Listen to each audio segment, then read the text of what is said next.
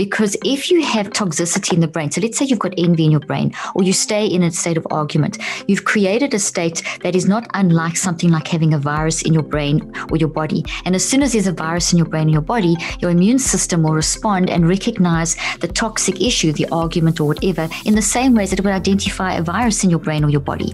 So it sends out immune factors and inflammation is created. Welcome to the Broken Brain Podcast. I'm your host, Dhru Purohit, and each week my team and I bring on a new guest who we think can help you improve your brain health, feel better, and most importantly, live more. This week's guest is Dr. Caroline Leaf. Dr. Leaf is a communication pathologist and cognitive neuroscientist with a master's and PhD in communication pathology.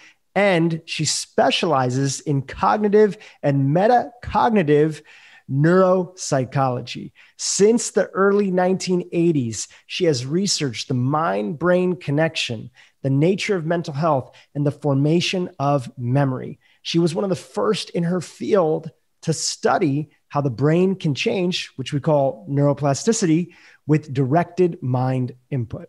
Dr. Leaf has helped thousands, hundreds of thousands of students and adults learn how to use their mind better and detox and grow their brain for success. Dr. Leaf's podcast is called Cleaning Up the Mental Mess, and she's been prominently featured on YouTube and places like Elle Magazine, TED, Huffington Post, the O Magazine, Thrive Global, and many others. Her new book is called the same title as her podcast, Cleaning Up Your Mental Mess, and it comes out in a couple weeks. Stay tuned for a fascinating conversation with Dr. Caroline Leaf, teaching you all about how to clean up your mental mess. First of all, thank you for joining us on the podcast. Been a fan, always see you on the charts, see your incredible content on Instagram. And it also just makes me smile to know, as somebody who's like so into their family, I work with both my sister and I work with both my dad. And I've worked with my older sister in my previous companies that I've had over the years. And it just brings uh, a smile on my face when I see a happy, family working together for a positive mission, which is even bigger than just you know making money. So I just want to say a hats off to you and your family because you just shared with me that you work with three of your daughters, which is incredible. Oh, thank you so much, Dhru. I, I, really appreciate that. I work with my husband as well. He's also part of it. So it's like literally only one child isn't involved. So, but thank you so much for having me on your podcast and sharing that. Yep. If you can work with family, it's, it's great. It really works really well. So, yeah.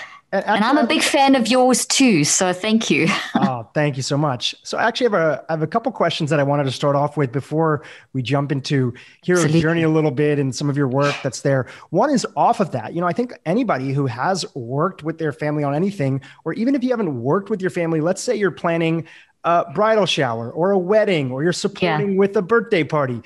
Anytime you work with people that you're close to, especially family, there's going to be little messes that come up. Are there Absolutely. any top suggestions that you've seen over the years of you working with your family that there are going to be breakdowns? How do you help clean up some of those messes and breakdowns when they happen? Um, I'm, I'm, so glad you asked that question because it's so relevant. It all sounds rosy and wonderful, but because it's family, you can you can let your guard down, as we know. And so, so we've ta- adopted a philosophy, and you don't always apply it, but it's what we try and use as a guiding principle. And that is that there's one of a very famous philosopher, and I cannot remember his name. He said there's three things that are important: be kind, be kind, be kind. And those are like the the tenets of what how we try and manage working with each other, because it's very easy to get get snappy or irritable, especially when you're under pressure. So that's one of the things that we really try to apply. The other thing is we don't let the sun go down on any irritation or whatever. So we we deal with it, we try and deal with it on the spot. And I know it sounds really funny, but the system that I've developed for managing mind, we actually apply it. We like tell each other, do a neurocycle, you know, get do do that, be aware. So so we've trained ourselves to actually live in this mode. And honestly, when we do it really helps. Just recently I did a, a podcast actually where Dominique, you've met Dominique, who's my producer, and we were on our way to we do we always do Orangetheory together and we do fasted workouts. And so we were on our way to Orangetheory. And I happened to wake up in a bit of a mood worrying about about something. This was about a couple of weeks back. And we get to be on the way to Orangetheory. She asked me something, but it was the way she said it. So I ended up getting totally irritated. Here's this mother who understands mind and all this brain stuff. And here I lost it. I got so irritated. We end up having this really stupid argument just before we got into Orangetheory. And we got there, we both stormed into Orangetheory, but immediately started applying the principles. For a moment, we forgot them. And then as soon as we got into Orangetheory, we both applied them. And First of all, transferring that negative energy into exercise is always a great thing. Did some little breathing exercises and then went through while I was on the treadmill, pounding the treadmill, I was going through the, the concepts, the neurocycle that I've developed, just going through the process to work out and what, why, why I was doing that and why did I get there? What can I do about it? Basically, managing the situation with my mind and transforming the neural circuitry before got out of control. And she was doing the same thing. And as soon as we got out of Orangetheory, the first thing we said to each other was, I'm so sorry. You know, and that's it really, honestly, an example. We do blow up, but we do apply the principles of mind management. And it's it's like kind of a rule, and that helps. So it's powerful. and, we'll, and we'll break down what the neurocycle is and you'll take us through the process and everything. Absolutely. Like with I, pleasure. I think the, the theme that I'm really getting from that sharing, and thank you for opening up. I know it's difficult, and you've mentioned this in your podcast in the past it's difficult for especially therapists and people who have worked in mental health to open up about themselves. And so yes. I see you sharing stories from your life. And I know that can be tough, and you're working against sort of trained behavior where you're told not to open up to exactly there. But I do find that with listeners on this podcast, and I know me as a person, it humanizes this experience because even somebody like you who teaches it, when people know that you have to practice it as well, then they're like, okay, I don't have to be perfect, nor should be perfection the goal of things. That life events are going to happen. As long as I have the tools and I continually can dip into those tools, then it's all about just continuing to do the work. I totally agree with you, and, and that is so true. I mean, it's it's it's my training. I mean, I train in the 80s and early and so that's four decades ago almost. And i've been in the field of mind brain research for this long 38 years. I've been a clinician and and I've, i still do research in clinical trials. So all my training has been around that model of the 80s which is you the therapist you keep your distance you the clinician you you're there to just give advice and you the kind of fix it person. And you kind of should know how to hold your own life together so you can fix everyone else. And they don't say that directly Dhru but that is the philosophy and why so many physicians, because I train physicians around the world, thousands, and why they are battling so much. I mean, one physician a day is, is committing suicide from the stress and the pressure of having to know everything and having to keep this unnatural distance between people. And I know you're about connection and, and friendliness and, and building social connection, social genomics. And as some of the research I've done really confirms and backs up your, what you talk about. And honestly, it's, it's vital that we form those deep, meaningful connections with whoever we are with. So the more authentic we are with the patient, patient, a client, people. I don't see I don't practice anymore, but I'm obviously reaching millions with my platform. And I find the authenticity is, uh, the, and the vulnerability is vital in taking these very complex brain science kind of concepts and not just teaching at people, but trying to help people understand, okay, this is what we're supposed to do. And this is how I'm trying to do it. And when I do do it, this is the impact. So that's the approach that I've sort of moved into. And I think it's healthier. You recorded a podcast earlier this month. I think it was on like January 4th, where it was a very vulnerable podcast where first you were sharing your um, appreciation for the new Disney movie Soul, which I think you had just watched at that yeah. time. Yes. And uh, we'll come back to that and some of the themes that you kind of really impacted you. But uh, on this topic of, you know, clinicians and I would say just a lot of people feeling like they cannot talk about their mental mess because of the pressure. It's not often, I think in the 50s, 60s, and 70s, there was a lot more pressure of don't talk about these things. It was more explicit. Yeah. Now, people may not be saying that, but people still feel that societal pressure of don't talk about things that are going exactly. on. Exactly. And you opened up in this podcast and you talked about what a challenging, basically, year it has been in sort of your ecosystem mm-hmm. of some people that were close to you that you had been taking care of who were having you know from my understanding suicidal thoughts or going through periods of thinking about that how did you somebody who teaches this and supports so many what did you have to remind yourself during this period of being there not just for others, but for yourself as well? Well, that was that was a really tough time. But this extended family member actually tried. They actually took an overdose, and it's someone that we are very close to. And I was the one who found them, so it was very traumatic, as you can imagine. And I was the one who took them to hospital. You know, with my family, took them to the hospital.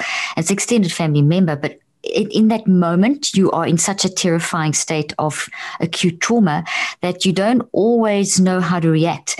But what had happened was that years of teaching this stuff kicked in. And this is where we you know, talk about the mind and the brain and wiring, using your mind to direct the neuroplasticity of your brain and to, try, to basically transform neural circuitry so that it works for you and not against you. And literally wire in um, foundational ways of responding. So in that situation, situation when we were going into the hospital and I was in a, in a suicide situation, because I'm very familiar with the mental health system, they don't let anyone, especially extended family members, come in. If you're a direct family member, maybe, but generally not because they've got to stabilize and there's all the behavioral, the psych stuff and everything. But I just stayed so calm and they could see I was totally upset, but they could see that I knew what I was doing. So I did a neurocycle. I basically got myself together.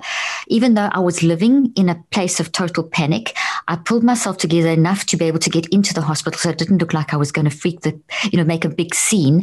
I was very calm. And once I was in the hospital, I felt myself spiraling out of control into total despair because you're watching, mean, this person was coding and it was terrifying.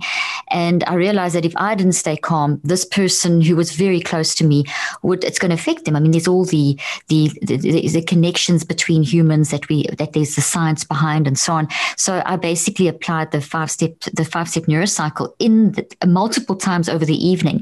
And then it got to the point where once the, the, my, my family member had stabilized, I then had to now fight the mental health system, which is one of, okay, once you go in for a suicide, any attempt, you pretty much can lose control of that extended family member or close family member if you don't know how to advocate for them. So in that, once I had got to the point where the person was stable, I then once again did a intensive neurocycle where, and maybe I at this point can explain what that is. It's Please. basic it's basically a system of mind management. It's it's how you it's based on 38 years of studying what happens at each stage in your brain when you go through uh, managing a thought and, and what is a thought and what does that actually mean. So it, like in that situation, I'm, my thought, for example, was I now have to protect this family member so they don't get sucked into the psych system, and we don't know what's going to happen, and that's not going to be the ideal for them. So I knew that that was so that was my thought. So, but in with that thought came all the knowledge that I have about what happens in the current psych system. So there was a lot of fear and anxiety um, coming, uh, uh affecting my ability to think of, you know, in a functional way. So that would have, and I've got some models here. Just I'm going to just jump to a bit of brain science because I know you love the brain. Um, so basically, the two parts of my frontal lobe would have been out of um, out of balance, and I would have had a drop of blood flow and oxygen in the front of my brain, and I would have had very low alpha activity and very low beta activity and gamma, which means that I was not going to think with cognitive flexibility. And that's Which is a survival mechanism historically because we didn't need to think, we just needed to run. Exactly. So the, all the energy went to that run. Yeah, totally to fight and flight. So everything was drained to that, basically to the limbic system. And so my mind was, my logical mind separate from the brain because the brain's a responder. The brain doesn't generate thoughts. The brain responds, but the brain will respond to whatever you have ingrained in it. So the survival mechanism or the previous patterns of trauma, whatever. So long story short, I had to gather awareness. Now I say the word specifically gather awareness, which is the first step. Gathering means to bring together a specific chose those words to encapsulate what happens in the brain when you become aware of something. And you don't just become aware, but you transition from awareness of the chaotic and toxic thoughts and whatever's going on in your brain, um, in your mind, in, and in your brain, the two together because they work together and transition from that to actually capturing those toxic thoughts and being empowered to control them and drive them in a direction where you keep your brain functioning at a high level so that you can have cognitive flexibility and make wise decisions. Because the last thing you want to do in a, in a critical situation is react incorrectly. You want to react and respond with as much wisdom, or the things are going to go crazy in whatever situation. And if I could jump in, th- of thank course. you for that. And let's uh, a lot of things covered there, so I want to break them all down. Absolutely. And, and, and really, I, I, can say a lot. So yeah, Well, you're a great speaker, so you have a ton of say and, and your background and everything.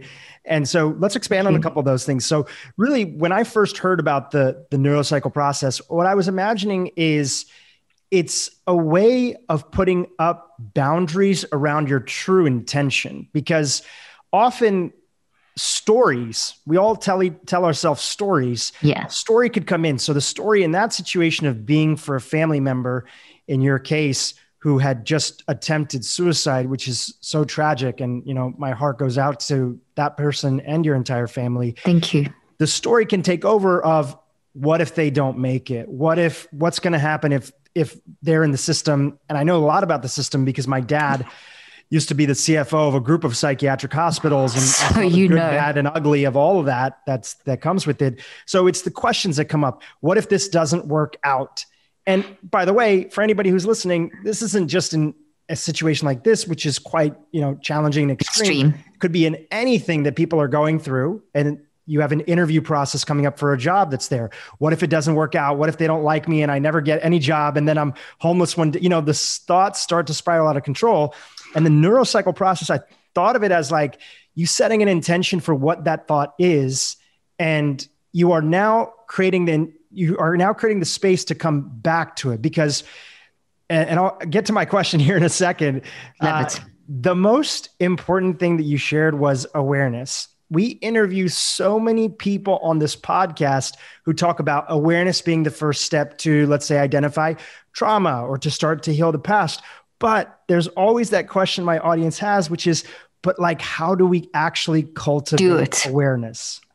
So good, so good that you that you asked that question because there's so much science also showing that with our huge approach in the wellness industry and even pop culture on mindfulness, and I'm not saying it in a derogatory way because we have to be mindful to become aware, but it's seen as a very reduced component. It's been reduced down to sort of a thing, and that's where the problem comes in. Because if you're just mindful but you don't actually do anything, you'll get worse, and that's what a lot of research is showing, and what and what my research showed as well. So let me distinguish between. And, and what, b- before you just can I just one question about that? Absolutely, go ahead. Go ahead. I want to hear your interpretation of why is that the case? Because so many people hear this word. Is it that we could become mindful of the wrong thing? Is that why you're thinking that you things could end up getting worse? You can mindful is the concept of mindfulness is to become, as you know, aware in the moment, non-judgmental, and to try and just focus on the now. We can't do that uh, because we temporal distance and we temporal travel all the time. Our mind never stays. Our mind's on two levels: conscious and non-conscious, and it, and the non-conscious is sweeping between the past, the present, and the future to make sense of the now. So we can never just isolate the now for more than a few seconds. And so what what the the point of that is that when we try to just stay in the now, we're going to miss everything around our context and we're going to land up temporal traveling anyway and getting confused. So the awareness, gathering awareness is a bit like gathering apples into a basket. Instead of sitting under a tree and it all hits you on the head. So think of it, apple tree, just all the apples shaking and they're hitting you on the head. That's one kind of awareness that is very destructive. But if you actually direct the process where you pick the apples, okay, I'm feeling anxious, I'm feeling depressed, I'm feeling frustrated, I'm feeling terrified, you gather awareness of the emotional warning signals. So each apple you pick and put into your basket, you controlling the process. And this is what the neurocycle is teaching you to do is to control the process instead of it just being a random aware of all these things going chaotically all over the place. You want to be aware of everything, but you want to embrace it in a way that you don't see it as scary, but you see that as each apple has a message. Each apple is a warning signal. So it's either an emotional warning signal or a physical warning signal, generally two categories to start off with. So, so to answer your question, how do you become aware? What did I do in the hospital? What apples did I gather awareness of? I gathered awareness of my terror, of my um, anxiety, of my, I wasn't depressed. I was highly anxious, highly terrified, highly on edge. So those were three of the apples that I picked. My whole body was tense. My heart felt like I was going to have a heart attack. So, what were my physical warning signals? By doing that, I now had a level of control. So, Dhru, I may just diverse for a moment. In the West, we have a philosophy in um, mental health that when something is toxic, like depression and anxiety, it's seen as a symptom of an illness. And you well know this because you're very versed in this area a symptom of an illness that needs to be suppressed, like it's bad. And also, it's defined as a neurobiological correlate, or they're trying to find neurobiological correlates that have produced that.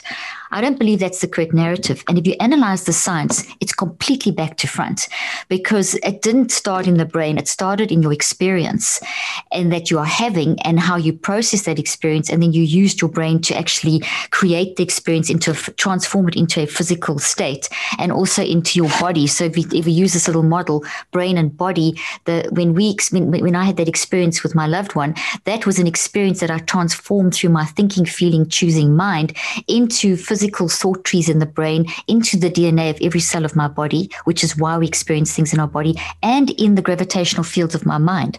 So we store um, information of experiences moment by moment in three areas, which is why when someone experiences, for example, recalling a trauma memory or recalling, even doesn't even have to be extreme trauma, just recalling an argument, recalling that argument with my daughter, for example, versus recalling the trauma of this family member, uh, extended family member suicide attempt, two extremes. One is very extreme, one is not as obviously as bad, an argument, but both, if I recall them and they're unmanaged, both will come back with all the feelings, their sensations, the emotions the bodily sensations, which is why people with unmanaged trauma, um, when they recall something, the, the it's the whole body that responds physio- physically, and then this this would represent a toxic thought. This would represent a healthy thought because thoughts look like trees trees in the brain.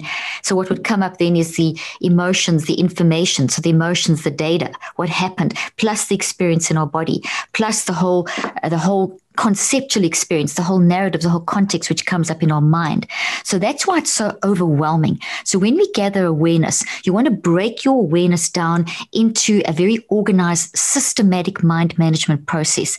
And cleaning up the mental mess using the neurocycle is a very systematic, organized process that we do non consciously at 400 billion actions per second, 24 7. So I've taken a non conscious process and I've made it a simple conscious process that when you deliberately do that, that, you can systematically learn to manage your mind and tap into the depths of your unconscious and, and basically use your mind to fix your mind, to re, to rewire the thoughts, to change the neurophysiology in your brain, to improve your mental and physical health.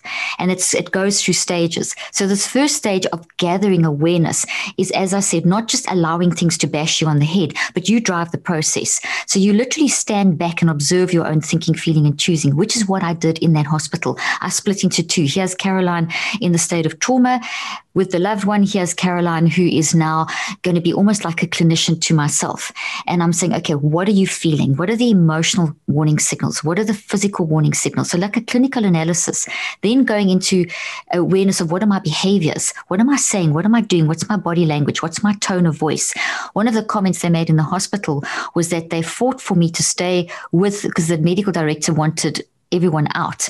And the nurse, one of the nurses, head nurses, fought for me to stay in with with the patient because they they saw that I was being compliant. I wasn't freaking out. I was keeping myself together. And every time I moved away, that person got anxious. Every time I came back, that person was calm again. So they saw that. So I managed to create um, uh, basically my the, the, by gathering awareness and going through the five steps. I managed to keep myself in a calm enough state that I could focus and I wasn't a threat.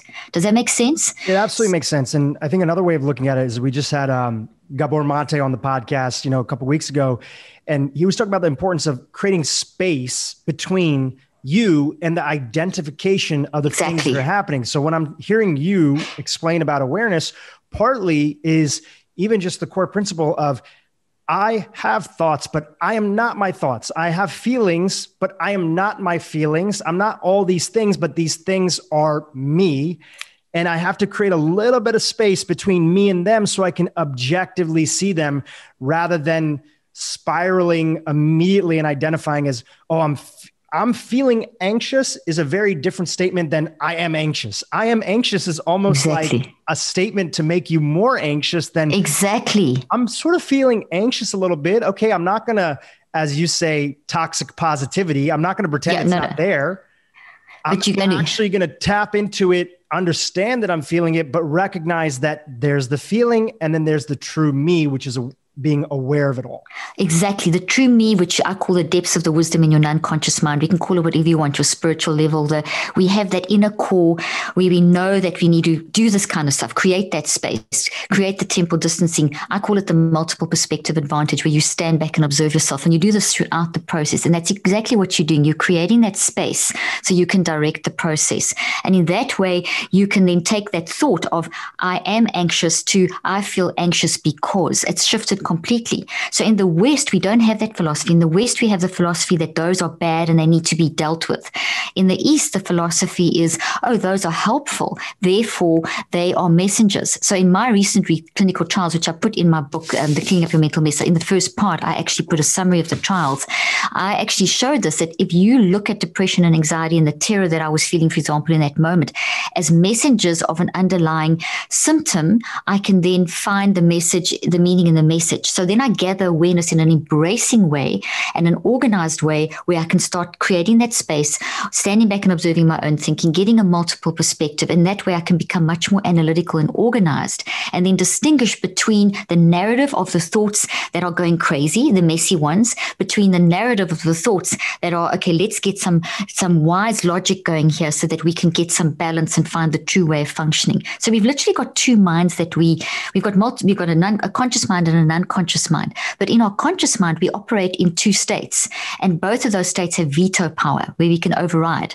And the core state, we we in the neuroscience literature, we talk about it as being wired for love. So there isn't any wiring in the brain for toxicity of any sorts of fear, frustration, anger, etc. That's not natural wiring. That's a distorted wiring, and we see that with proteins folding incorrectly, etc. In the mind, we see that as the optimism bias, and it's all for survival because if you have toxicity in the brain. So let's say you've got envy in your brain, or you stay in a state of argument. You've created a state that is not unlike something like having a virus in your brain or your body. And as soon as there's a virus in your brain and your body, your immune system will respond and recognize the toxic issue, the argument or whatever, in the same way as it would identify a virus in your brain or your body.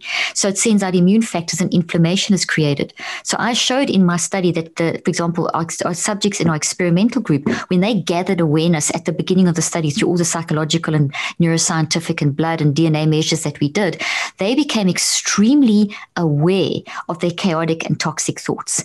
The ones in the control group were not given any form of mind management. The ones in the experimental group were given the neurocycle and they used it daily. It was on app loaded on their phone. And so they had a way of gathering awareness, gathering the apples in the basket, doing this stand back and observe your own thinking, the creating space, and not seeing those as threatening, but seeing them as helpful. So we saw significant changes, for example, in at the beginning of the study, homocysteine levels, which is I'm, I'm not going to talk about all the blood measures, but homocysteine and cortisol were significantly high in all the experimental and control group because they all came in with anxiety, depression, suicidal thoughts, all kinds of stuff, tra- trauma, burnout, you name it. By the time we had taken the experimental group through the neurocycle, the homocysteine levels had normalized, which meant the inflammation had normalized, the cortisol levels had normalized, the DHEA levels had normalized, the DNA, telomeres on the DNA, which we can discuss maybe in a moment, those, those had stabilized. So what I'm saying is that the biology was reflecting what was going on in the mind. The mind was influencing the biology. The biology was telling a story from the beginning through the process. So I know this, and I know that if I'm in that state and I don't gather awareness properly, my physiology is going to go down the wrong route and it's going to create energy patterns in my brain that will not allow me to be functional in that moment or effective, f- function effectively in that moment. So that, that gather, and, and what I always say, Dhru, is that before you gather awareness, and we're taking long to explain this because we're kind of analyzing it, but you can do this in, in very quick, in five minutes and 15 minutes max. Um, but you need to prepare your brain. Your brain and your body need preparation. And that's where all the beautiful techniques of breathing exercises and tapping and and um, meditation and havening and whatever you want to do is great and important to do to get yourself in that state and prepare your brain. But most priming. people stop priming. Most people stop there. So the research shows, and I showed this in my control group, that if you are primed and you're also aware, but you don't have management, you get worse. So we saw, for example, our um, control group without mind management, not having the ability to get to, to do the five steps, gather awareness and reflect, and, and we'll analyze the other steps in a moment. Their telomeres, for example, shortened. So telomere, as you know, it's uh, chromosomes are um, come the DNA strand, you get the chromosomes, and telomeres can be my pink fingernails, just for argument's sake, to make it super simple. And telomeres are required; they're they're considered a proxy for how we manage our mind, how we're managing our emotional state, our stress, etc., etc. A lot of research being done done on that now, and so I wanted to see could we actually impact telomeres, which talks about cellular health, aging, cell health, um, physiology, neurophysiology. Could could we impact that in and what sort of time period? And most of the time they say five years. We saw changes in three weeks, and by nine weeks, we saw significant lengthening of the telomeres and strengthening of the telomeres. What that means is that for those listeners that don't know, I know you understand this, but what that means is that um, some of our people at the beginning of our study were chronologically, let's say, for argument's sake, 30. But they had bodies, um, um, their, their biological ages were of a sickly 65 year old. So they had bodies that their bodies were 35 years older than their actual chronological age, which meant that they had an increased um, susceptibility to illnesses. And that increased by a factor of 75 to 98%. So then, you know, when we hear that people are dying 8 to 25 years younger from preventable lifestyle diseases, we have to look back at what is one of the main driving forces. And it would come back to mind because mind is the source of all your thoughts. Thoughts are the product of how you are processing life. And those products produce your behaviors. And those products move of thoughts move through your brain and body. So they affect your physiology, which is what we saw in the telomeres and the his, homocysteine and the cortisol, all those different just measures. Really sh- just really shows the power of the mind time and time again. And even in this world that we're in, which is functional medicine, integrative medicine. Yeah. Um, with a lot of the past guests, just how much you've seen a shift in the last few years of the doubling down of like yes, food, yes, exercise, yes, this. But if most doctors that have been on this podcast had to say, like, one thing that basically can trump all that is that you could eat as healthy as you want, you can exercise, but if the mind isn't cleaned up, if there's not a state of being of emotional wellness that comes in, you can think yourself sick. And that's exactly what you guys were demonstrating in this study. I want to ask exactly. you a question uh, so one distinction that I want to make sure that everybody got because there was a lot of great information. No, so, sorry. No, don't ever I talk apologize. a lot. I got I got lots of information. you know, it's don't ever apologize, and it's great, and it's my job as a host, just as you've been a host, of making sure yeah. that listeners um, get it. Get it. Uh, so one thing that I think is a key distinction that you're presenting is much like in uh, you know, let's say at my place that I'm at right now if the smoke alarm went off, if you were taught your whole life that smoke alarm means immediately everybody's going to die in a fire, when the yeah. smoke alarm happens, you're going to get hysterical because you're just waiting for impact to happen. Exactly. But if you're taught that a smoke alarm is a good thing because it's telling you, hey, pay attention. And in that same way, you are really saying that first, we have to understand that these things that we demonize as bad, feelings of anxiousness, these fears that come up, feelings of depression or depressive stuff that might be there, whether we're diagnosed or not, those things are a signal in the same way that a smoke detector is a signal. And it doesn't mean we freak out, it just means be alert, something is going on. So we have to appreciate exactly. and thank our That's body. Exactly. For actually giving us those signals to, to pay attention. Exactly. You the, got the, it. That's beautiful. The the question that I had for you that I'm very curious on, um, that's partly tied into this, but a little separate, is when you are actually going through this process of awareness, where you're first creating space and identifying that you know here's the you, which is the awareness, and then these are the things, and you're sort of getting the lay of the land of what yeah. you're feeling, of what you're noticing, things that are making you feel this way. I know people are different thinkers. Some people are more auditory, some people are visual. Do you actually see a mental movie of that space? Like what actually is happening for you in that moment, or how do you typically think about it? Are you imagining it in your head and you sort of see a cartoon? Is it more of a feeling based thing where you're feeling in your body? Do you say anything to yourself verbally so that you can hear it? I'm curious about your method. So you're quite right. One of the things that I've researched over the years is the uniqueness of how we perceive things. So how each of us process. And there's been a lot about the VAK, visual auditory kinesthetic, and you know that's been disproven and the seven types of thinking. And that we, we that's kind of old science and doesn't even apply. What we what is the, what is the current more accurate science is that we everyone uses everything but completely differently. So we're all going to draw on a bit of the visual and the auditory and the kinesthetic and all the different things, and we're going to package that into our own. So to answer your question, the way I packaged all of those tended to swing between a very, almost very linguistic, very word based. So I was having a conversation in my head. It was definitely um, an internal conversation. And I, I, was, so I wasn't actually seeing it playing out in my head. So always visualization always happen.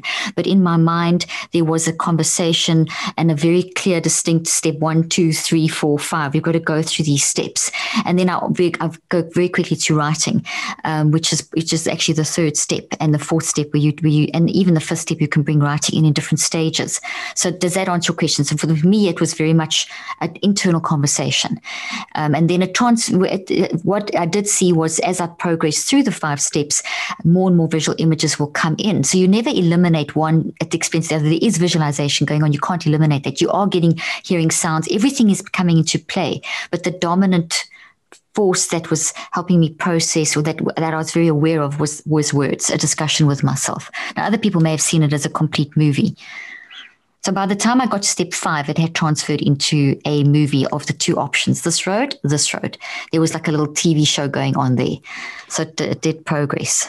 So we're both doing two things, as you mentioned earlier. We're talking about basically your approach to messes, right? We like yes. when people have a mess, a situation happens.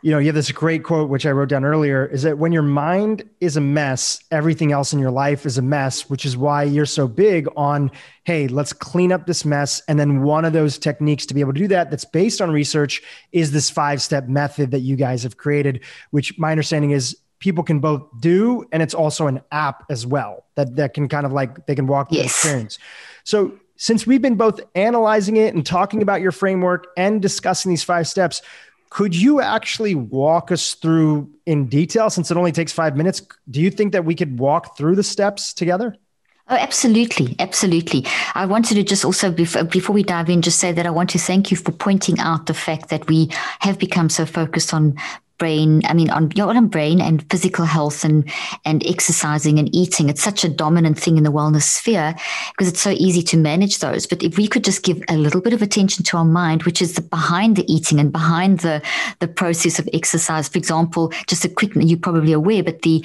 pancreas secretes 20 different neuropeptides uh, to, which we need to assimilate food. And if you're you're eating a super healthy farm to table meal but you're in a toxic state from worry or anxiety or something's happening you haven't processed, or that argument that I explained earlier with my daughter, if I hadn't processed, if I ate a meal in that state, I would have lost up to 80% of the nutrition because the pancreas wouldn't have been able to secrete all 20 neuropeptides. Case in point, mind is behind eating, mind is behind exercise, mind is behind everything. It's the source. So you can go three weeks without food. You can go three days without water. You can go three minutes without oxygen, but you don't even go three seconds without using your mind.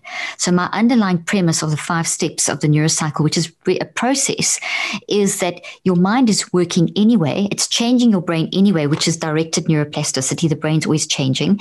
So you may as well direct that change because whether you like it or not, it's happening. So my whole thing is self-regulate so that you can actually learn how to, to systematically drive your mind, to drive the neuroplasticity of your brain, to transform the neural networks and wire out the, the wrong thoughts, the, the narratives we don't need, and replace them with the or reconceptualize them into narratives that bring mental peace. And that's what my work has shown we can do. But it's a skill, Dhru, that like we learn to eat properly and go to the gym and exercise to become an athlete, it doesn't happen overnight. But somehow we haven't, as society, applied that same philosophy to mind. We should be teaching mind from in this from young. I have my patients. I have patients as young as three. We should be teaching our kids from day one, and we should be training ourselves. In, in mind. Mind is malleable, and it's a skill that we develop develop. So the neurocycle is a process that you that doesn't replace therapy. It doesn't replace any techniques that are out there. That's the beauty of it. It's not replacing ACT therapy or some kind of psychodynamic therapy. All of those still work. It enhances therapy. The point is that if you are going to therapy, what are you doing with yourself the other six days of the week? And what are you doing with yourself 24 7? Your mind's always working. During the day, your mind is building the, the, the experiences into products which are thoughts. And those thoughts are then driving the next action. At nighttime, you sort out the thoughts that you've been speaking, uh, been building during the day, which is a regenerative process preparing you for the next day, all part of our survival. So if we don't control that process, then that process can get really messy. And that's why I talk about cleaning up the mental mess and being very direct and self regulated. So, having said all of that, the, the neurocycle, our stress is so simple. The, the five steps are are ones that we're all aware of. What I've done is just work out the systematization of the process to know that when you do this, this happens in the brain. So literally with each of the steps, and, I, and I'll just throw in a little bit of brain stuff each time, but there's a massive amount of neurophysiology across the brain and the body in all systems that is responding at each level in this transition of taking chaotic thoughts and then rewiring the networks of the brain, um, and, and, which leads to improved mental health and physical health. Also, one thing I want to say, just as another baseline, is that we've got to stop seeing mental health as an illness, like cancer or diabetes, because that's not even accurate science. Not even top scientists will agree with that. Even your top people in the field, um, psychiatrists, neuroscientists, um, there's, there's obviously a split, but it's uh, there, there's a lot. If you analyze the research, we'll see it's not an illness; it's a response. And like COVID, now we're all in a pandemic. Obviously, people are depressed and anxious. It doesn't mean that you're mentally ill. It means that you're having a normal response to an adverse circumstance. And an sometimes it can response. Like yeah, for the situation ex- that's there. Yeah, Exactly. So, what we need to do is recognize and embrace that response in order to manage it. Otherwise, it's going to control us. So, we need to be empowered to get autonomy and be able to get control over that process so we can look at the literally look at that toxic thought, see what it's doing to our behaviors and our perspective, find the origin story, which is the roots, and reconceptualize that. And that's pretty much what the five steps are doing. It's teaching you how to embrace, process, and reconceptualize. Okay, so first and, is the brain. And before you break Sorry. it down, just wanted to add one sure. comment to that I think as as medicine continues to grow and evolve and really look at the root cause of all illnesses and things, there are even both physical and mental illnesses, right? Even though you're, you know, explaining that it's not an illness in the same way, there's more and more research that comes out every year about how most of what we think of as disease, which is usually something is happening mm-hmm. to us. The standard sort of idea in the mental health world that you talked about being bogus, the chemical imbalance, right? Mm-hmm. Or Total. for instance, let's say cancer, or heart disease. Well, a functional medicine doctor looks at heart disease very differently than a traditional yeah, doctor. Traditional absolutely. doctor saying this is just happening to you. We don't know mm-hmm. why. We know genetics are there. Yes, smoking plays a part.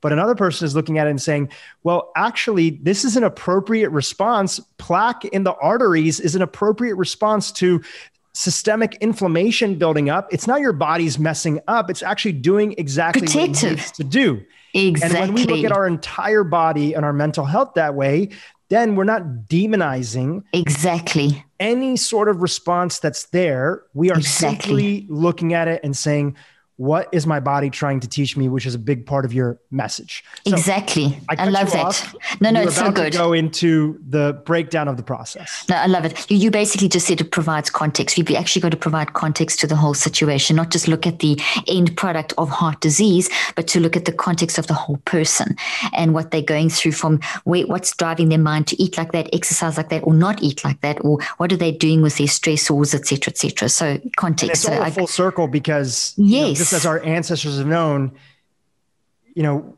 that there's no right diet for the brain or for the heart. It's like what's good for the brain is also good for the heart, is good for exactly. your, your, belly, is good for all that. And at the same time, too, if we have negative thoughts and emotions, that impacts our likeliness and willingness to want to eat healthy. Exactly. And of course, if we eat a diet that is very high inflammatory, eating the wrong type of oils and other things regularly, then that can also make it more difficult to be in a good mood. We can have more inflammation, which exactly. affects our brain. So Feedback all these loop. things are just tied, and we have to understand and look at it in the holistic sense, which is where you're talking about the Eastern Eastern viewpoint. Exactly, bring the east to the west. So eating, if you choose to constantly eat a diet that is toxic, that's a mind choice. You still you're still thinking, feeling, and choosing, but you're not controlling that. You're just slipping into patterns that are not necessarily the correct way of thinking, and that's affecting your dietary choices. But if you really think about what am I eating, what is it doing to my body, you've then taken charge of your mind to control your mind about what choices you're making. So you're thinking, feeling, and choosing about the food instead of just responding to TV ads and convenience of processed foods or something, or just ignoring and putting aside, oh, I don't believe chemicals are dangerous or whatever. I don't. So that's that's a choice of your mind too. But mind is operating in a toxic sense in that way. So I also talk in my book, Cleaning Up Your Mental Mess, about using the five steps to gather awareness of what kind of attitude you have to food and why and how you can change it and build it into a good habit and what that will be sustainable. So it's not oh you must eat healthy for your as you said for your heart or whatever. You actually need to eat, eat healthy as a person. You need to understand why. What are you doing it for? What is then and get that knowledge and so on. And then that that's also you can use the five steps in exactly that way to build a habit a good habit and to make the decision about why you have the bad habit and break down the bad habit. So, so it's many ways. So it's toxic traumas which is going to take time to heal um, acute traumas, big T traumas, small T traumas, toxic habits, building new habits, uh, improving connection and communication, improving dietary lifestyle. It's basically the neurocycle is your system for how you get your mind under control so you do that stuff. And that's what's missing as you said earlier on in this current approach that we have. People talk about mind being the hard question of science. It's the most obvious question of science. We're using our mind all the time. If you were dead your mind wouldn't be working now. We're using our mind just to communicate. The listeners are using their mind to to listen and respond. So, so having said all of that we've got to get our mind under control. We've got to self-regulate. And that's what the five steps of the neurocycle are. That's i call them neurocycle cycle. You keep cycling through them. So it's not a one off thing that you do it once and that's it, you fixed.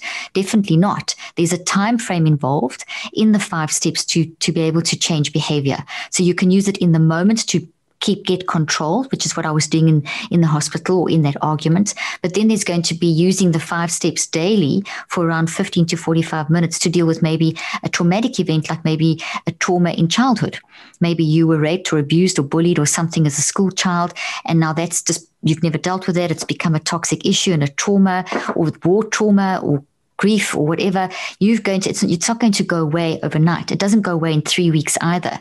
In three, it takes around about three weeks to embrace, process, and reconceptualize the thoughts through the five steps daily. And at day 21, you're going to be changing, you're going to change from I am depressed at day one to day 21. I am depressed because of, and I still feel depression, but now I know what to do about it. And I know why, where the depression comes from. So I know how to reconceptualize. To day 63, it's actually impacting my behavior behavior change. I'm not as depressed as often. And when I am depressed, I'm getting it under control much more quickly. So I'm embracing it. So there's a complete transition and shift, but that takes nine weeks. And we always talk about three weeks for change, 21 days, which is a complete myth. It's not even science. So that's why part of the neurocycle is understanding you know what length of time do i need to use it for what is the time frame involved in actually creating behavior change that you right. don't just and one think about doing it but you actually do it for sure. And I know there's a lot of different theories on that. Of course, there was the 21 day theory. We've had BJ Fogg come on and talk about his sort of habit approach where, you know, yeah. he's sort of an advocate for like changes can happen more immediately. But I think the consistent themes are number one, there is there is the anchoring in the neural pathways when things are done repeatedly and to be gentle and to actually be committed to practicing something so it becomes a part of us, which is why you are oh, Absolutely. such a big advocate of the process. And I love, you know, earlier, and I've heard you in previous podcasts call it, you know, it's work, right? It's like actual work. Yeah. And I often thought about when I heard that quote, like, you know, Byron Katie has her process and she says, I call it the work because when you stop doing it, it stops working. And I immediately thought about that when you talked about so good component. Yeah. Like you have to do these things. And just like training at the gym all the time or being good at like making quick and healthy meals, the more you do it, the more you train it into your subconscious so it starts to become more automatic. You might find yourself, I know this has been the case for me, you might find yourself at a place where okay, you know, 6 months or something happens, you've been practicing it and then you enter into a situation which previously might immediately trigger you. And what is triggering? Yeah, like yeah. Identifying with that thing instead of realizing there's that thing and there's you and there's space in between. Exactly. And you're just not as reactive. And you're like, wow, this is now kind of a, the part of who I am. I'm a whole exactly. That's the reconceptualization concept, which the Japanese explain it uh, that beautifully with the kintsugi principle. I'm sure you're familiar with the kintsugi principle. Have you ever heard mm-hmm. of it? Mm-hmm. So when yep. a vase, for those that don't know about it, when a vase shatters into thousand pieces or whatever, they don't sweep it away. They actually collect every piece and meticulously rebuild the vase with gold lacquer or platinum or both. So you now have this beautiful new vase, and it's beautiful because it's got all the veins which are the story. So it's reconceptualized. So you remember the past, but it's reconceptualized into the new. So you're changing how your past plays out into your future with that concept. And that's the end product of mind management. That's what will happen with your, you're not going to forget your, your, your trauma or the war history or the death of a loved one, grief. That's part of your story but it either is going to cripple you and you're going to stay stuck in rumination and depression and just not move forward and do what only you can do and contribute to life, or you can take that and shape it so that and, and wire it to a point where, as you said so beautifully just in a moment ago, that you you oh how I'm not falling into that pattern as often before. And it does take that time. And you're quite right, your brain changes all the time. Back in the 80s, we were trained that the brain couldn't change. And my and my professors, and that dates me, like goes back, goes back four generations. And we were trained to teach our patients to compensate. So I worked with traumatic brain injuries where there was literally no research because they said, why bother? Their brains are damaged. You can't do anything. So, okay, give me some brain damage, seriously brain damaged people, and let's see what happens. And by using the neurocycle in its infancy, now it's much more advanced. We I, I literally took people that were vegetables through to getting degrees and getting having IQs higher than prior. And it wasn't me, it was them getting hold of the system and applying it into their life. Hard work, months of work, years of work, continue. It's a lifestyle. I'm not teaching a once off magic trick. If you're looking for a quick fix with mind, it'll never happen. Mind change, mind is working and changing every moment of every day. Your brain is subsequently changing every moment of every day. So the guy you mentioned, the, who talking about habits, I can't remember his name, who said that our brain's always changing and you can get change immediately is correct, but is it sustainable? You're, it goes to, and this is what I've tracked with my, neuros, my neuroscientific research. What's actually happening at like day four, day seven, day, day one, four, seven, 21, 14, 21. There's, there's, there's key points where you get major shifts and you only get certain things like gamma peaks occurring at day 21, which is showing that we've actually got insight we've tapped in, we get an increase in what we call alpha. And I'm sure you've heard of the alpha frequency at the front of the brain, as well as an increase in delta, which is showing that there is an insight developing that is enabling me to look at what I have experienced and see it as a lesson and see possibilities, you know, and to actually then be empowered to face that and see challenges as opportunities, not barriers. I mean, barriers as um, barriers as challenges and, and opportunities. So, you know, that, that's the shift in the transition we're talking about. So I'm not saying, oh, it's all going to be wonderful and put on rose five steps in your life. No, at not at all. I'm talking about very real stuff. Life is messy. If you're human, your life's generally mostly for a large part of the time you're going to experience messy moments. Day to day big stuff small stuff over your life. What i'm teaching us to do is to embrace that process and see it as part of our humanity and learn how to manage it so that we can operate in a functional way and contribute to the world in the way that only we can which is anyway that's a little bit of philosophy there. We diverted from the five steps but i think it's been a great important foundation. So no as you were saying earlier just it's important to have context of the what and the why before before you get into the how. Otherwise, because sometimes you can see something so simple and say, oh how how could that possibly work? It's too simple because we want a more elaborate a more different solution. We want to do backflips to achieve the results exactly. instead of realizing it could be actually that simple if we understand the why behind it and the what behind it, which is what the podcast Absolutely. has been about so far. So let's actually jump in through the process now is perfect opportunity to get into the how.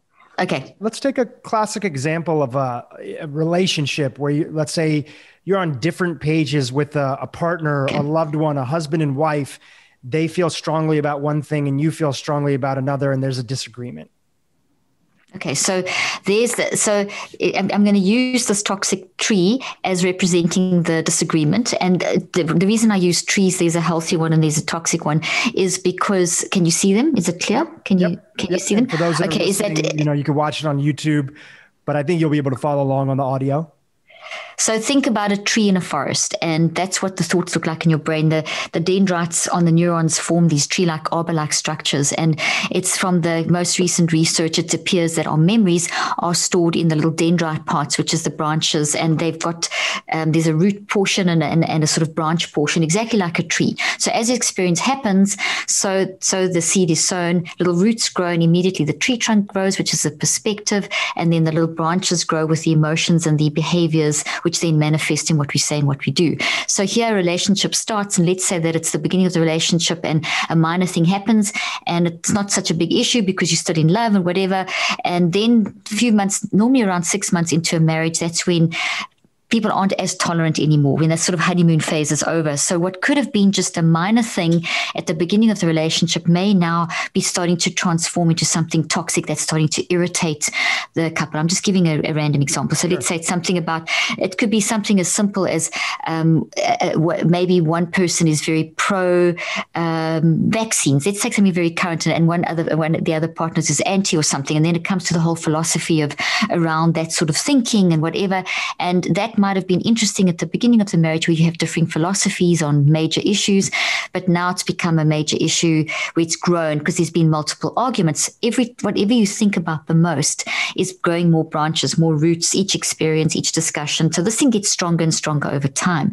So now you're in a situation with uh, the loved one, and a topic comes up that that immediately pulls this thought up. The topic activates or triggers this thought to come from the non conscious mind. And the non conscious mind operates 24 7, always on. Conscious mind's only on when we're awake. And the non conscious is where all our trillions of thoughts, um, uh, thoughts with their memories, because like a tree has branches, thoughts have memories. Where so where all our thoughts with their memories are stored, our belief, which contain our belief systems, our value systems, our upbringing, every experience we've ever had. So it's massive. So here we have this discussion and it leads to an argument and immediately triggers up this thought, which has lots of memories of that argument in 1965 and that one in 1981 and that one about that and that one last year. And so it's a thought tree about this disagreement of basic philosophies and multiple arguments, and which led to multiple some emotions. Have to do with that person and some which maybe have nothing to do with that person. Exactly. It could have just been an experience related to something else. So there's a little branch here. Look at this one sticking out. It's coming from another thought that's similar from a baby with another person, but it's kind of all into this mindset that you have. So you're kind of looking at this person through this this thought that's moved into your conscious mind. So that's the perspective that you are viewing them through, and or and, and it could be that that person is has tried to change. Maybe that person tends to that you're arguing with tends to say things like "you always," or which we should never say "you." We should always say "I feel that" instead of "you are like this." But they tended to do that a lot, and so that comes up and gets added to this, and so suddenly now we've got you looking at that person through the eyes of the arguments of the past connected to maybe other people's arguments, connected to how you've had arguments in the past. So it brings up another toxic thought about the way that we've had arguments where you didn't listen to me and you never and you always. I mean, we should never use always and never in, in an argument because they're such strong adjectives and will just create an aggressive response. So that's now happening. So that's the situation. So what do you do? How do you do a five step? Um, in fact, I did a podcast on this yesterday, this very thing. You first look at the warning signals and what, what are the warning signals? You look at two types, physical and emotional.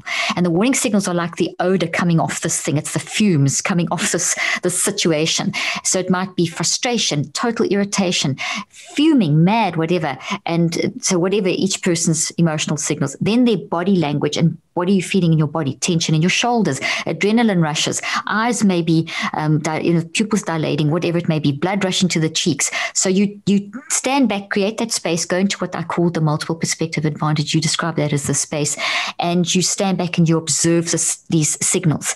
Then what you do is, as you've observed those signals, you're aware of this whole thing happening because it happens fast. The the anger, these warning signals, it all happens very fast. So you just want to be aware. You just tell yourself literally, what are the emotional what are the physical? So that very cognitive clinical element creates that space. Then and what when you you're do, doing that, do you actually do you do you speak that either yes out loud, prefer- said out loud? Yes, and I would do it. I would recommend. So when when I did couples counselling and that kind of thing, or work with in trauma with families and that kind of thing, I would teach them to do it to talk out loud. Teach them both a system, and in the argument, both talk out loud. Okay, we're both freaking out what are your emotional and physical warning signals? So you're immediately creating that distance and that space. You then can go into some sort of breathing. And one of the breathing techniques that is really powerful in calming you down is the 10 second pause, which is breathe in for three and out for seven. The extended breath out, the extended exhalation increases blood flow and oxygen to the front of the brain. You're literally pushing it to the front of the brain. So you do that yoga whoosh where you push it out, and that increases um, decision making capability. Now, if you do three in, seven out, and you do that 10 second pause six to nine times, you'll calm down the neurochemical chaos in your brain. So now this is a bit of priming. So I've become aware, but I'm now quickly slipping into some brain priming to get me into a calmer state. So before you carry on talking, you say, okay, listen, guys, we're both freaking out. These are my body's feeling this, my emotions are this, your emotions are this. So let's just breathe. Let's just do this 10 second pause. And then you add a cognitive component as you do the breathing. And um, there's a lot of other exercises, but this is quick and it's powerful, especially in a relational issue. So as you breathe in, you say think, feel. So in your mind, you're breathing in two, three, but you're saying think, feel. And then as you breathe out, you say choose. So it's think, feel choose. And you can do that out loud or in your mind, but adding the cognitive component of think, feel, choose, those three words, which is mind. Mind is how you think. When you think, you feel. When you think and feel, you choose. That cognitive component creates more space, more distance, brings it stabilizes energy levels in the brain, blood flow, all kinds of amazing things. And then it helps you to then refocus back on okay, the emotional and physical warning signals and the gathering of the apples. Now I can shift into a little bit more depth of my gathering. I'm going to go now to my behaviors. So what am I saying? What am I doing? What's my facial expression? What's my nonverbal communication? What's your facial expression, your nonverbal communication? What are you saying? What are you doing? Are you leaning forward like this? Are you shooting eye statements and accurate whatever? So then you look at your behaviors. So you both analyze. At this stage, the clinical analytical stage has distanced you a little bit from the argument content, which gives you perspective. Then you and, reflect. And can Sorry. I ask one question just to jump in there for context? Because because yes. I just make sure that I'm following along. In the example where it was you and your daughter on your way to fitness class, and yes. you kind of got into a little bit of a tussle, naturally there are moments where you just an argument kind of pops and one person says and that sort of thing even people like yourself who have invented these things and had that. So in that instance asking for myself and the audience are you telling your daughter look let's pause. Let's go through this together or is she talking and you're kind of doing it on your own and then you're bringing her into it? So sometimes we'll both like in any situation sometimes we'll immediately stop and we'll be able to to immediately do what I'm describing. Together. In that, but yes, in that, yes. And we both, even if we're doing it silently in our head, and we sort of started like we'll prompt each other, emotional warning signals. My husband and I said, "What do you five step emotional warning signals and we kind of prompt each other and we'll get silent for a while and we kind of pull ourselves back. But there's sometimes where the argument does get heated and there's a period before we get into this. So then there's neurochemical chaos. And that's what happened that day in the car. I woke up in a bad mood. I woke up very anxious about stuff and it put me, made me very edgy. So I was not, I did not use the five steps immediately, but I used them very soon after. So I had the explosion. I got irritated. Our, um, our fitness place is like three minutes from our house. So in that three to five minutes, I didn't apply anything. I can be totally honest. But I realized very soon what this was doing to me because I'm so aware of tuning into my warning signals that, and so, so is my daughter, who happens to be my producer, and we work together. So we're so aware of it that we brought ourselves back quickly. And there is the key. Um, uh, there's the, the key, Dhru, because I'm not saying I'm perfect. I'm not saying that you're never going to argue. But what I am saying is you'll catch yourself in three minutes. I caught myself, and so did my daughter in three minutes. We didn't try and solve it immediately. We went into Orangetheory. We did our workout. But if we weren't going to Orangetheory, we would have done something physical. Like we would have maybe just separated for a moment. I would have gone for a little two minute walk or done some push ups on the floor, something physical to just transfer that energy. So I know how to prime my brain, do the breathing, do something physical. Within a minute or two, I can bring myself back. That's what I've learned. You learn to improve your mind management of the situation. And then when you go through that process, the quality of relationships change. You're still going to have the arguments, you're still going to have the irritations, but the speed of correction and self regulation is phenomenal, which then deepens the relationship and moves you forward into productivity and creative intelligence, which is what you need to survive in business, life, etc., in relationships. Does that make sense? Does that answer your question? Yep, that makes sense. I think it's useful for people to have context of yeah asking the other person to hey, look, we're both riled up. Let's pause for a second. Let's do it together. Which you're saying that's an option. Yes. In other instances where, you know, you don't feel like forgiving that person or them forgiving you, and they are having a natural response to maybe something where one party or another party messed up. It could be, let's take a break, you know, do our things to, you know, separately, right? That's it's okay yeah. to take yeah. a break. Yeah, absolutely. And then, and then maybe one person might go ahead and do it and then come back for the repair opportunity. Exactly because in in the messiness of relationships we can repair and grow. So we mustn't be scared of messiness in relationships. This whole thing of toxic perfectionism toxic positivity um, this which is very big, unfortunately, is damaging. It's okay to have an argument and it's okay to, to, because in that mess, I learned something of what not to do. And it took my relationship with my daughter to another level. And like that, it's just, it's transformed. Every little tiff will take you to another level with my husband, my whatever. So um, that's what I'm seeing. But I'm not scared of the messiness. I used to be very scared of an argument or very scared of messiness happening. And life happens. I mean, things go wrong all the time. I don't have to tell anyone that. We all know that. But it's it doesn't scare me as much. I, I get yes, you get terrified, but the ter- terror of a suicide attempt or the terror of a something going on financially or whatever, um, that is it's there still, but somehow the ability to get control over it is there. It's stronger. It's developed. It's a skill that I've developed and I'm still developing. So I want to encourage the listeners. It's not this is not a quick fix. This is a lifestyle. I'm talking about a lifestyle. And the reason why it's so vital is that we saw prior to COVID, we already had a major problem. And I don't think people have I spoke about it in my book, but the, the decades long trend of people living longer, um, which has been going on for years because of advances in medicine and technology, has reversed. But between 2014 and 2015, people are not people are not living long anymore. The trend is actually reversed, and so people are dying between eight to 25 years younger from preventable preventable lifestyle diseases. And we have to track that back to what we're doing with our mind, which is then influencing all the other aspects of lifestyle. And so that's why I brought that up. There's a whole section on that in the book, and that's what this is also helping us to be aware.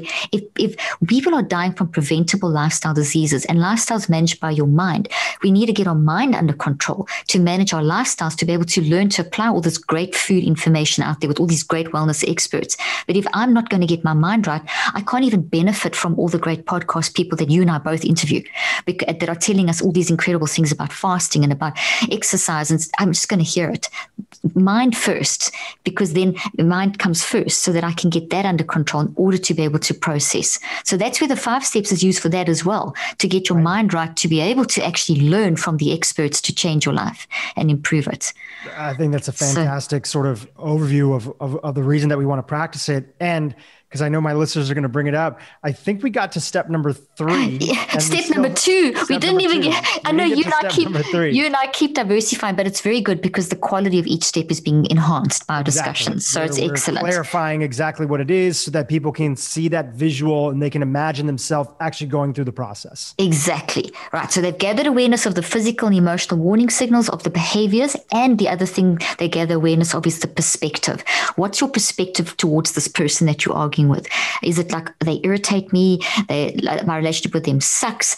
I don't really want to work this out, or I do want to work this out. I actually do love them, and I'm just whatever. What's your perspective? So once you've gathered awareness of those four areas, then you can start your reflect process. Reflect is such a beautiful word. Like gather awareness is a beautiful word too. Two beautiful words. They're so big and round and contextualized and deep. Reflect is as well. It's basically asking, answering, and discussing. Why have I got these emotional signals, these physical signals. Why do I feel this? Why are my behaviors like this? Why, why is my perspective this? So, and then if you answer, well, my perspective is like this because they always do this. Why?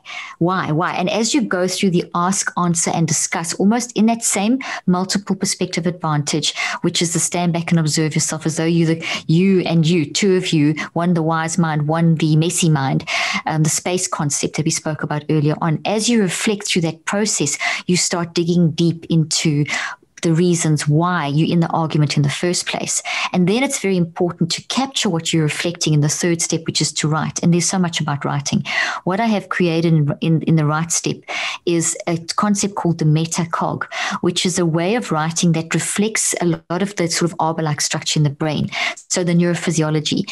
Um, and you, what you want to do in write in the first stage of write, because there's you write from now on, but in different ways. The first stage of writing, step three, is you want to pour your brain on paper, literally just vomit out everything that's coming out. Just put it all down. No literary piece of work. Just put it down. And I found that the quickest way to bring depth, uh, to get the two sides of the brain working in coherence so that you can dig deep into the non-conscious and really, you know, really pull on that integrative, um, uh, integrate the memories of the mind in a very wise way. So you get good introspection um, and keep you in that space where you can find answers. The metacog where you start in the middle of the page and you do branches. There's a whole section in, in the book showing you how to do it. And there's a video on the app as well that shows you how to do it.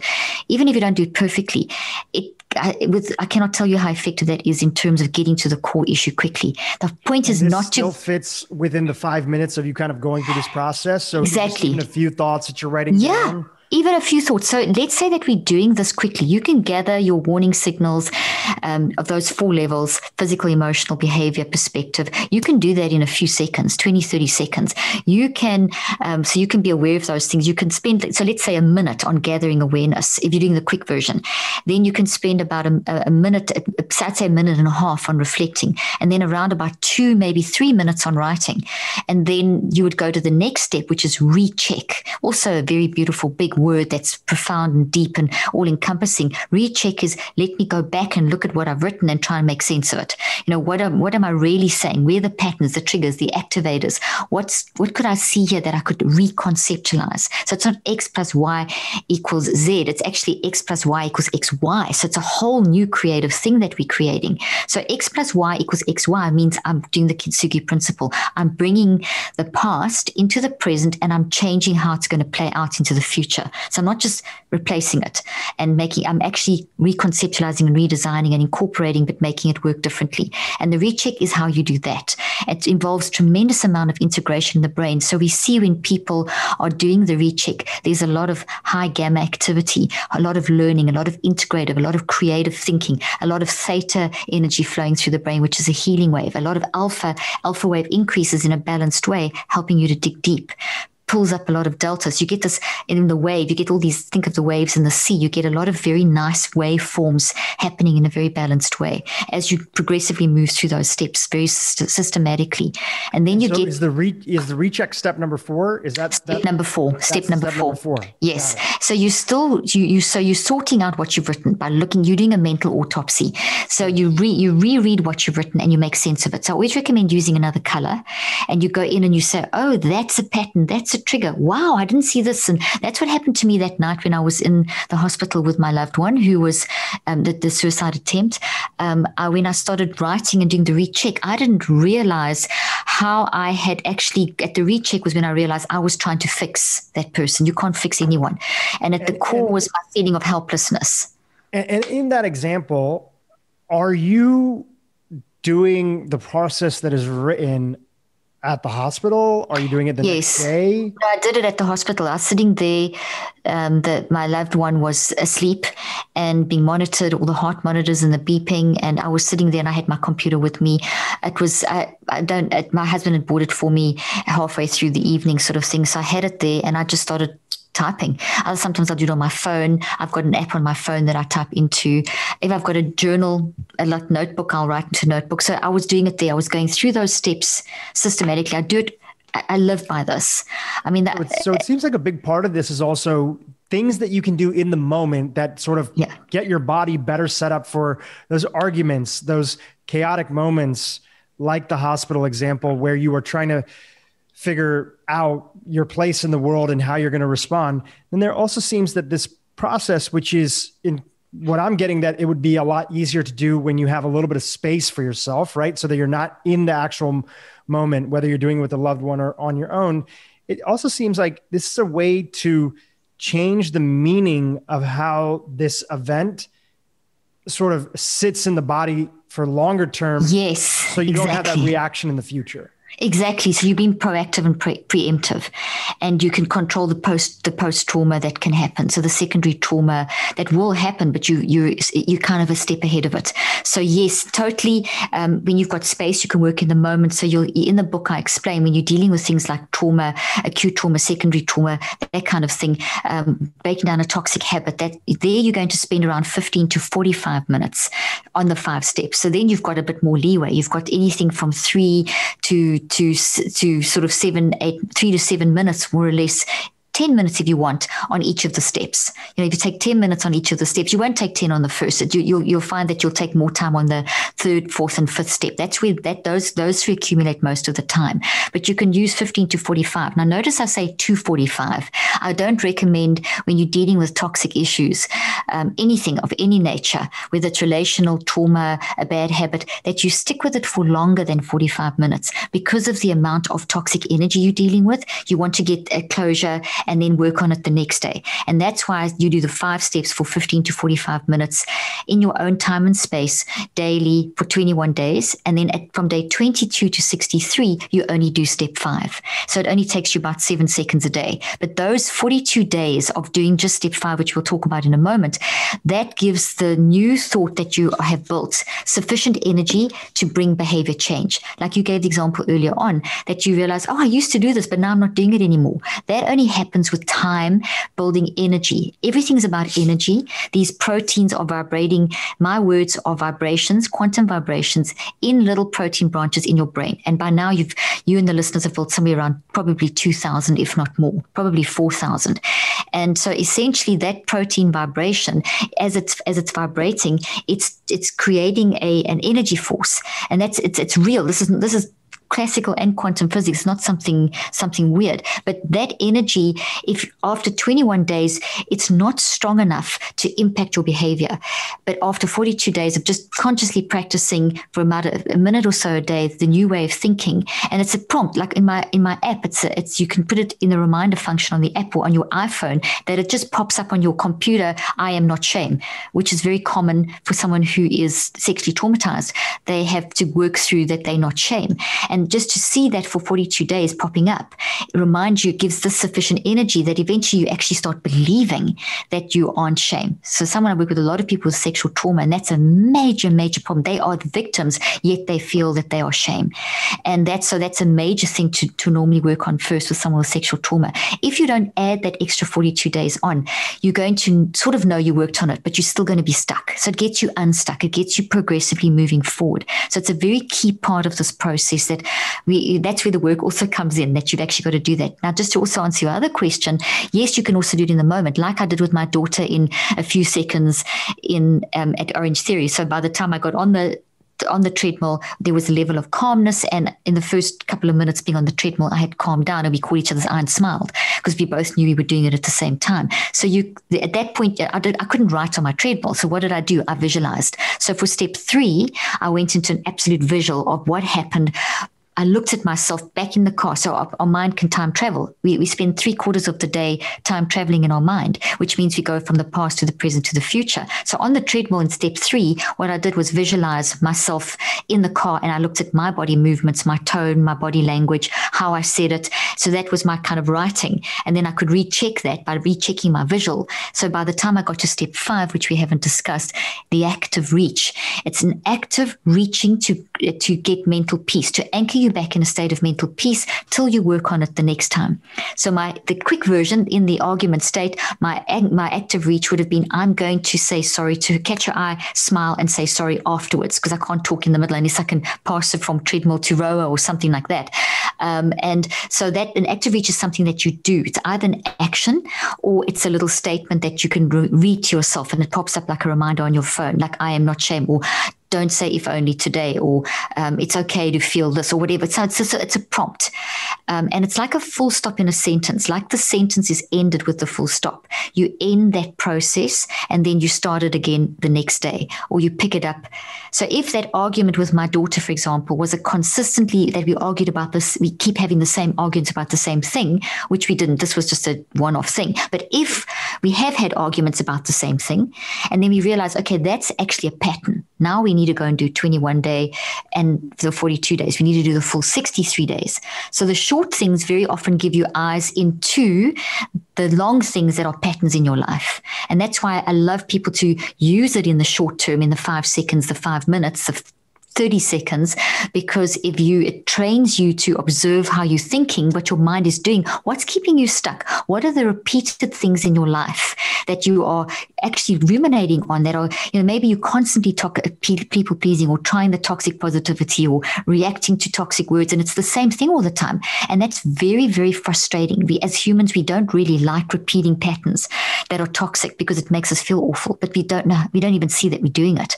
This five step the quick one and the long one together teach you how to be much more aware of those things that are keeping you stuck. So you use the in the moment with the other with the other. And then there's That's one more application. It is powerful. No, there's one more application that is phenomenal. And I shouldn't say this at the end. I should say it at the beginning, but it always ends up like this in an interview in a discussion. It's brain building. When my patients came in for 25 years, I practiced clinically. And the first thing I would do would be before we dealt with the trauma or the learning issue or whatever it was that we that I was working with him on, I would do brain building. Brain building is using the five steps to learn new information. Your brain absolutely thrives, as you and I both know, on new information. Brain health comes from new information that we learn, a lot of other things, but one of the quickest ways to build resilience, that you're stronger and that that brain health then sends that, generates that through your DNA, right down to the, you've got 37 to 100 trillion cells in your brain and body collectively. When you brain build, when you do all of this stuff, but when you brain build, you, you immediately change your resilience factor in your brain. And you can do that in, in, in as short as 30 minutes to an hour. So I would start every session session with my patients, especially the first few sessions, I would start with at least 30 minutes of brain building, and then we would do 30 minutes of, say, trauma, whatever trauma work we were working on, learning work or whatever. Then I'd go to the point where we would shorten that, but I'd make them do it at home. What I recommend to every person, you clean your teeth every day, you should brain build every day. If you don't clean your teeth every day, eventually your teeth are going to be pro- problematic. If you don't brain build every day, you won't clean your brain. It's kind of like a housekeeping function. When you wake up in the morning, neurogenesis occurs, which is has occurred, which means you've got all these new baby nerve cells. And as we think deeply, we very intelligent humans. Humans are very intelligent. We're designed for deep intellectual thought. So when we go through, when we harness deep intellectual thought into an organized systematic process, we will draw on those new baby nerve cells and we will grow lattices into the brain of these healthy green trees that form a very strong foundation for generating very healthy energy through the brain. So when the stuff comes, the acute traumas that blindside us, we can bounce back. We're going to not fall down and we're going to cry, but we're going to get up quicker and we're going to keep moving forward. We don't lose hope. Brain building teaches you hope and starts building that hope in you, which gives you the energy to fight through the depression and the grief, etc., etc. So you can use the same five steps. I do brain building and uh, for an hour to two hours every single day. I start my day with brain building and I have my routine in the book. And brain building is one of the first things I do. Even if I do 15 minutes, yeah. I do brain research every morning and then I find time during the day to do it. Totally. That's I've seen a lot. yeah, there's a lot of information there, but thank you for walking us through it. And as you mentioned, you know, definitely we're going to have the links to the book and everything in the show notes so people can pick it up and actually walk through the process. I did have a couple other questions, so I didn't want to go, go through the brain building process completely, just so we can conclude and tie in. So absolutely, I want to zoom, zoom out from neurocycle, and I want to look at sort of, um, as you had mentioned, life can be messy, and a lot of that mess that you talk about in your podcast can even start off with you know our parents are well intentioned and the you know most parents are going to be well intentioned and kids are raised in an environment where maybe there aren't the best communication habits maybe there aren't the best priorities that are there. Again parents doing their best kids doing their best to adapt and out of that adaptness and trying to work through traumas behavior mechanisms can come and we can develop addictions we can develop exactly you know, challenges that are there. You've been very open um, in your own podcast about some of the things that you worked through uh, as a young adult. One of them, I believe, was an eating disorder that that you had worked through for for years, and uh, you've also shared some other things that your husband was working through early on in your marriage.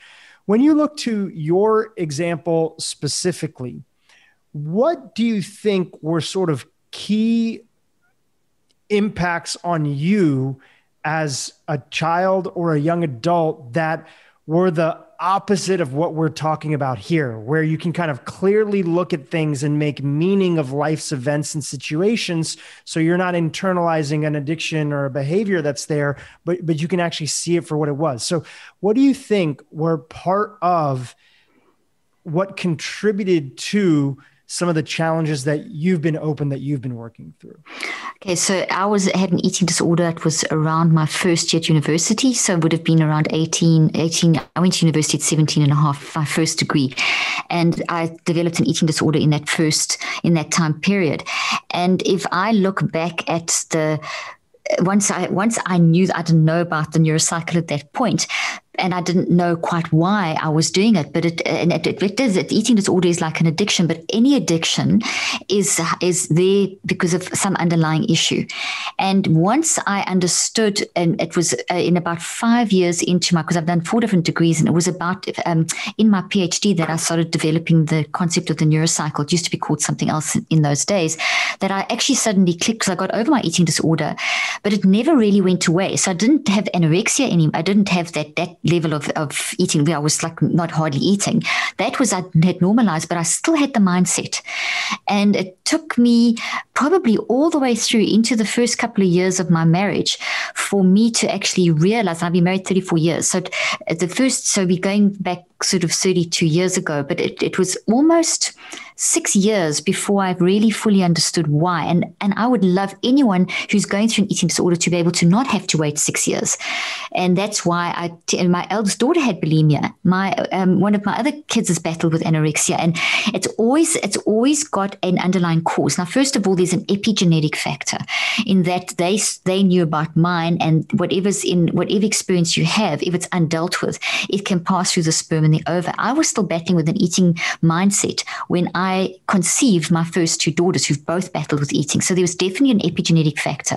So I influenced, definitely played a role in their battle. And when they were getting through it and doing the neurocycle to get through it, those were one of the things that I had to sit with them and, and, and, and say sorry and confess my part in the whole process and how it affected them and the foundation. Then it helped me, you know, when once I was doing that, it helped me then find out where mine came from.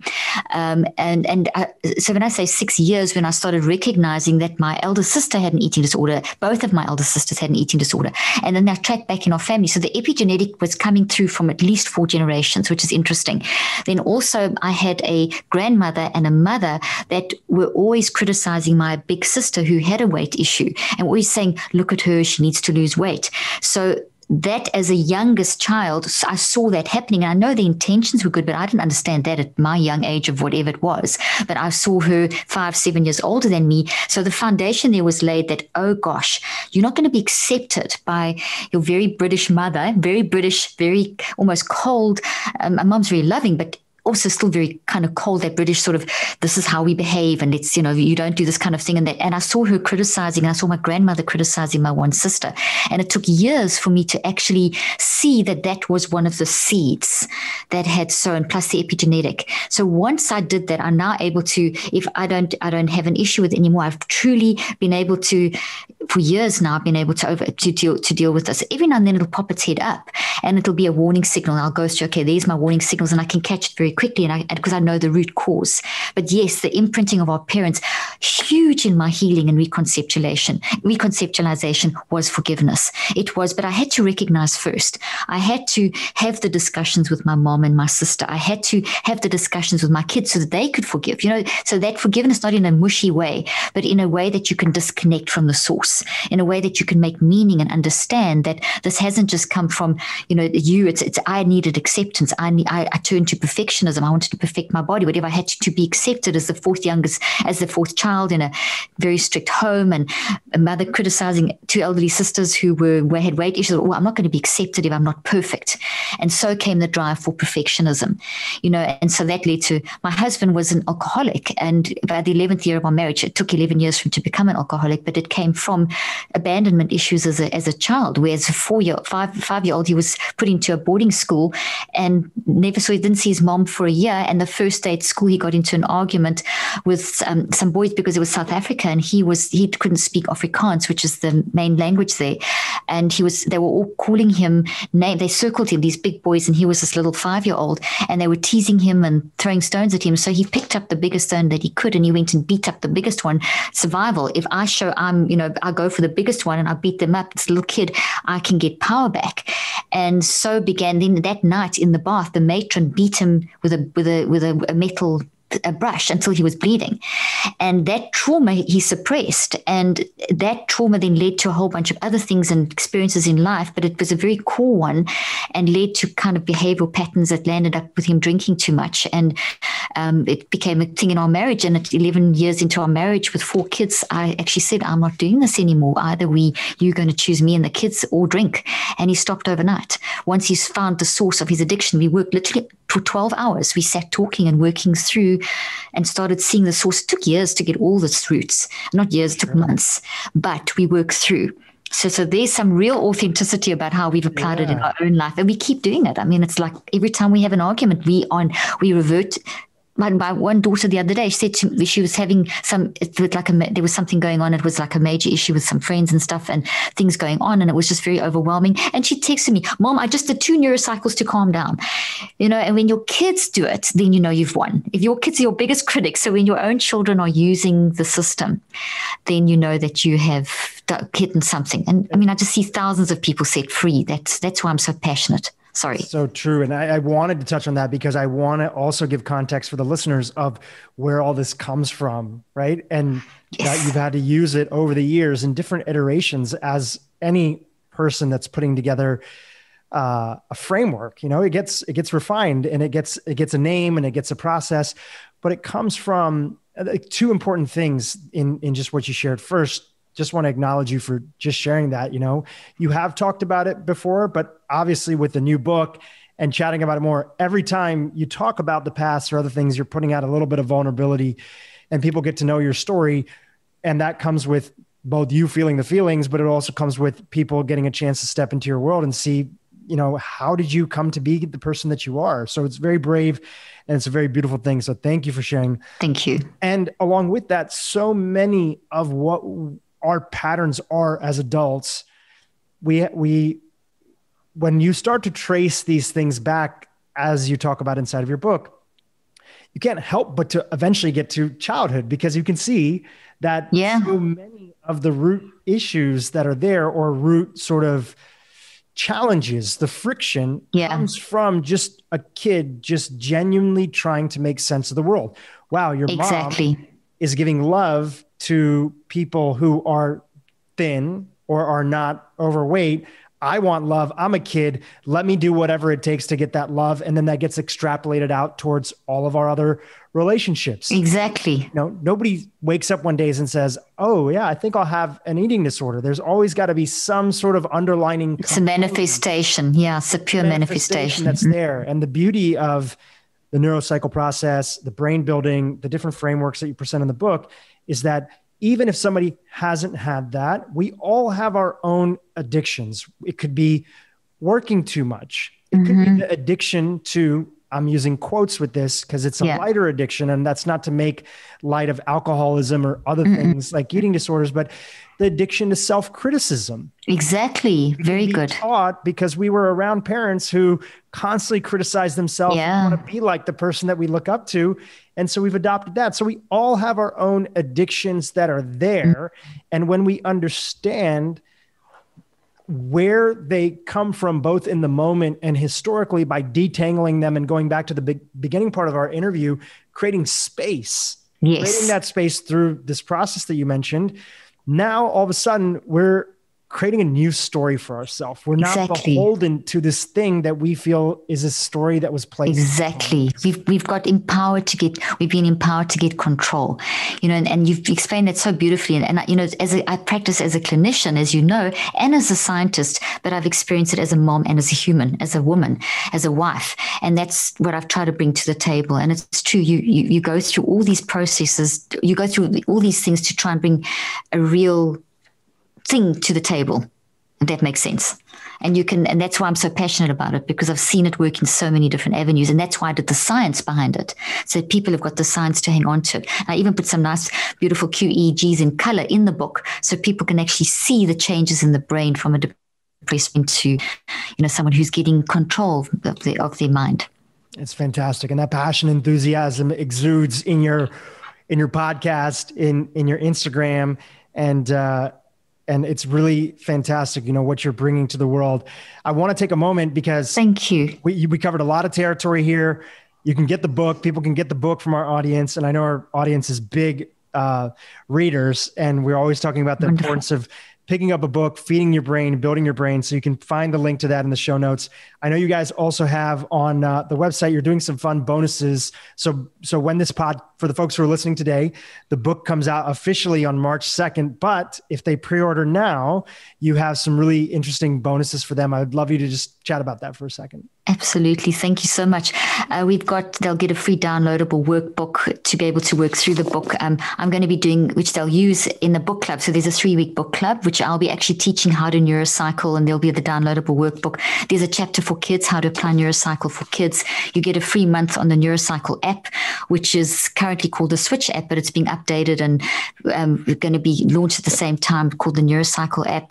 Um, there's, there's, as I said, the book club, uh, extra bonus chapter There's um, access to some BiOptimizers, cognibiotics, brain brain supplements that are organic. I mean, there's just like there's so many. There's so many. I think I've covered all of them. So if they go to cleaningupyourmentalmess.com and pre-order there, then they and register, they can get access to all those pre-orders. And then we also have a free seminar on the um, on the 27th of February, uh, which is in time because your podcast is coming out, and people can register for free. And it's a 90 minute workshop where I'll be interacting with the audience, answering questions, and teaching how to neurocycle.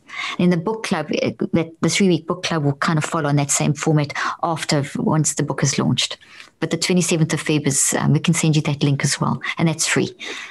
All beautiful. And we'll make sure we have the links to all them in the show notes. Dr. Leaf, thank you. Thank you for being part of the podcast and joining us and sharing your story and just being so open with everything that you've gone through that has shaped you into the human being you are now so that you can help people even if they haven't gone through the same thing that you have you know they can still benefit. And and that's the beauty is that's the hero's journey is you've gone through it and the hope is to pass on the information so that people don't have to go through that exact same thing exactly.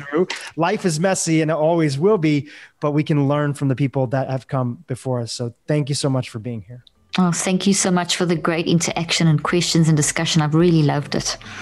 Fantastic. Thank you again. Thank you